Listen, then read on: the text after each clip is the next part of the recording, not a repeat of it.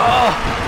Wasn't you, I got excited and over revved into the wall.